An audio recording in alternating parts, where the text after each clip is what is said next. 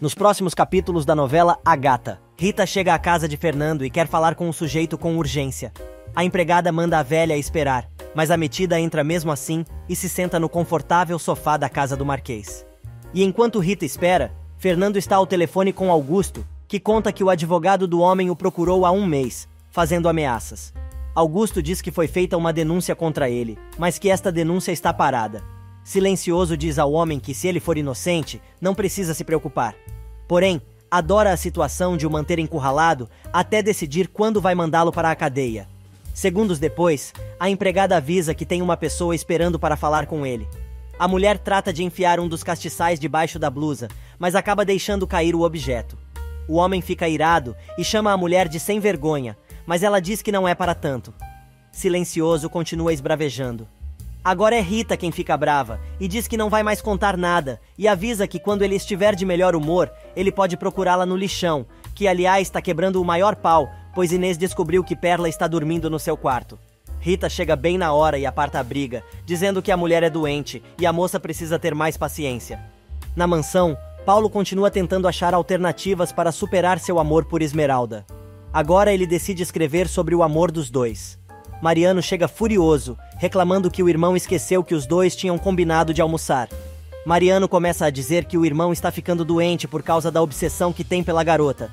Mas Paulo diz que o que sente é muito maior que ele e não consegue controlar.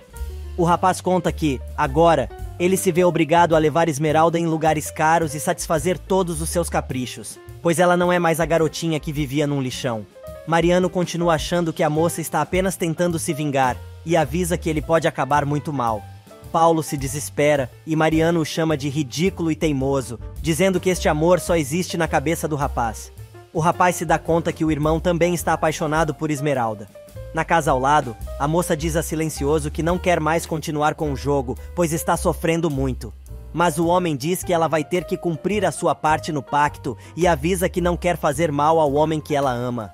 Neste meio tempo, Mariano continua humilhando Paulo, dizendo que ele só faz besteira e que sente muita pena porque ele se tornou um fantoche nas mãos da gata. Paulo se indigna, puxa os cabelos e se baba todo gritando que não sabe o que fazer. Mariano se diverte por dentro ao ver como o rapaz é infantil, mas continua sendo contra a Esmeralda. E quando Paulo finalmente diz que não dá a mínima para Mônica, sua mãe entra e dá uma bronca no filho.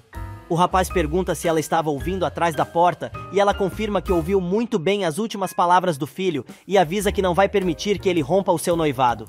Paulo enfrenta a mãe e diz que não vai se casar com Mônica. Mariano diz que o irmão ainda está apaixonado por Esmeralda. Virgínia defende o irmão e Lorena manda a filha calar a boca e começa um discurso jogando a fama da moça na lama. Mariano tenta mandar o irmão calar a boca e não falar com a mãe daquela maneira, mas Paulo chutou o balde. Indignada, Lorena mete a mão na cara do bonitinho. Mas a mulher não está satisfeita e ameaça o filho dizendo que se o pai souber que ele mantém um relacionamento com a catadora de lixo, poderá ter um infarte e até morrer, garantindo que a culpa será toda do filho. Segundos mais tarde, sozinha, ela se dá conta da cagada que fez, pois só se afastou mais de Paulo, principalmente por conta do bofetão que lhe deu. Agora não adianta chorar pelo leite derramado. Neste meio tempo, Mariano leva Virginia até seu quarto e diz que a família está desmoronando. Mariano coloca a culpa na relação entre Paulo e Esmeralda. O rapaz percebe que a moça está apaixonada, mas ela se nega a contar por quem. E o bebezão resolve ligar para Mônica, que está curtindo um banho de espuma relaxante. O rapaz deixa uma mensagem dizendo que precisa falar com ela pessoalmente. Quando o moço está saindo, Lorena tenta emendar o que fez, mas o tiro sai pela culatra, de novo, e ele diz que se tiver que renunciar à família para ficar com Esmeralda, não vai pensar duas vezes. Depois da briga com a mãe, Paulo está saindo de casa para encontrar Mônica, quando Lorena tenta emendar o que fez. Porém, o tiro sai pela culatra, de novo, e ele diz que se tiver que renunciar à família para ficar com Esmeralda, não vai pensar duas vezes. Logo que sai de casa, a cabeça do querido se enche de perguntas e dúvidas, admitindo que está muito inseguro e não sabe o que fazer, mas consegue ver a moça, que está abraçada a silencioso no jardim da sua mansão. Esmeralda enfrenta Fernando e diz que às vezes ela não acredita que seja sua intenção ajudá-la a reconquistar Paulo, mas acha que ele a está usando para atingir a seus pais, forçando sua vingança mas silencioso repete que está fazendo de tudo para que o rapaz realmente volte para ela. Esmeralda diz que não quer continuar com o jogo. Ele insiste, mas ela não muda de ideia e diz que não quer causar nenhum tipo de sofrimento ao rapaz. Rapaz este que tem a mente poluída e acha que a moça é mesmo uma qualquer. Mônica liga para o noivo, porém ele não atende. A moça resolve falar com a tia, que adverte a moça que este não é um bom momento para falar com o rapaz. A mulher conta que o filho encontrou Esmeralda e ficou confuso, por isso quer terminar o noivado. Lorena avisa que ela não deve abrir mão do rapaz e jura que vai guiá-la neste momento difícil, afirmando que a moça vai se casar com Paulo ou ela não se chama Lorena Martinez Negrete. O bobalhão volta para casa, chorando por coisas que está imaginando, e se atira direto nas garras da megera.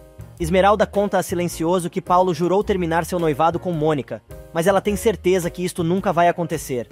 Fernando manda ela ficar tranquila, pois este casamento nunca vai acontecer. Neste meio tempo, no lixão, Rita está tentando manipular Perla para que ela se lembre de quem realmente é, dizendo que ela já está velha e que pode partir deste mundo de uma hora para outra. A velha então resolve contar que foi ver Fernando para dizer que ela é branca, a esposa dele. Porém, a mulher afirma que tem certeza de que ele vai voltar e Perla precisa estar bem e se religar à realidade. Rita conta para Perla que, há muitos anos, roubaram sua filha e por isso ficou louca mas pode garantir que a moça está viva e revela que a filha dela é Esmeralda. Do outro lado do lixão, Garibaldo está enfrentando uma saia justa. É que o patrão dele descobriu que o rapaz está fazendo serviço por fora. O rapaz diz que está dentro, e o homem avisa que os traidores dele estão todos mortos. Neste meio tempo, Rita continua contando a Perla toda a sua história e revela que o nome verdadeiro de Esmeralda é Renata. Neste exato momento, Gata chega e a velha conta que estava justamente falando dela. Do nada, Perla se levanta totalmente consciente e diz a Esmeralda em alto e bom som que ela está linda e é sua filha. A moça acha que a mulher está delirando, porém, Perla implora para que a moça a leve com ela. Porém, Gata acha que a pobre está fora da realidade e não acredita na mulher. Mal a garota sai, Rita avisa Perla que ela somente conseguirá dizer a verdade a Esmeralda se estiver curada.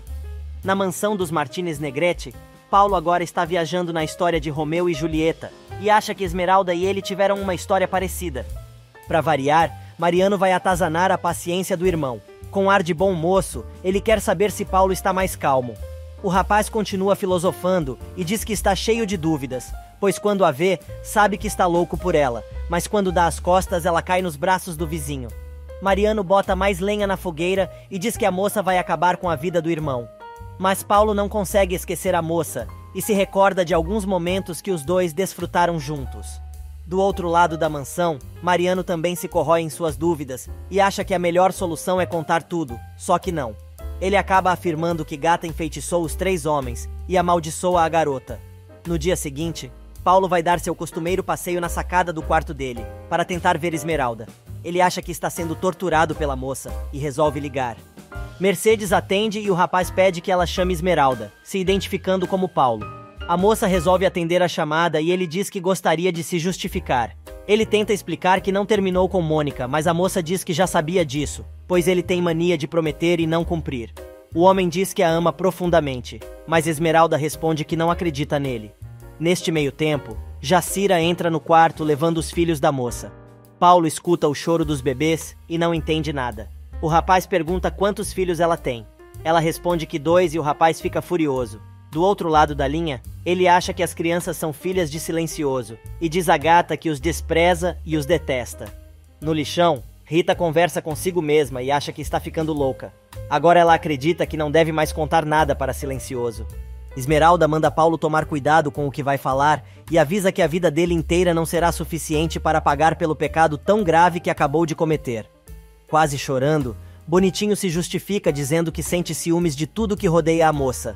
Mas quando vai falar das crianças, Gata perde a linha e grita: Estas crianças são meus filhos, e eu sou tudo o que elas têm, porque um desalmado, sem moral e sem princípios, me engravidou e me abandonou, e nunca se preocupou com eles. Mas o que ele não sabe é que sou mulher suficiente para seguir em frente com meus filhos. Então escute bem, Paulo. São meus filhos. E agora você vai ter que se desculpar, mas não comigo, e sim com eles. Adeus. Assim que desliga o telefone, Esmeralda conta a Jacira que Paulo acabou de desprezar os próprios filhos, e isto ela nunca vai perdoar. Neste meio tempo, Paulo está saindo correndo de casa quando encontra Mariano, que cá entre nós parece barata, tá em tudo que é lugar. O rapaz conta ao irmão que, por bobeira, acabou de perder Esmeralda.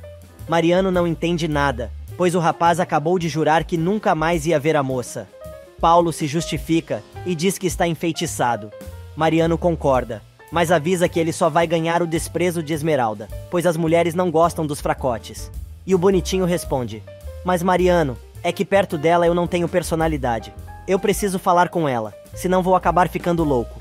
Mariano pergunta o que o rapaz fez e ele explica que ofendeu os filhos de Esmeralda, mas acrescenta: Ela não perdeu tempo, Mariano. Eu queria que estas crianças fossem meus filhos, mas só Deus sabe quem é o pai. Paulo diz ainda que a moça revelou que foi abandonada pelo pai das crianças e que precisa pedir perdão a ela, pois quer ser para os bebês, os pais que eles não têm. Mariano se irrita e chacoalha o irmão, o chamando de burro, e manda o rapaz acabar de uma vez com isso ou vai acabar maluco.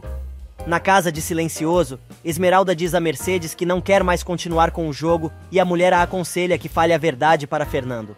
A moça diz que achava tudo muito perigoso e que tinha quase certeza que estava fazendo tudo errado. Mercedes insiste e diz que ela deveria acabar com tudo. Na casa ao lado, Paulo continua gritando que ama Esmeralda e avisa que não pode continuar vivendo esta agonia. Mariano diz ao irmão que sente muita pena dele, mas Paulo está disposto a deixar tudo para trás e viver seu grande amor. Mariano argumenta.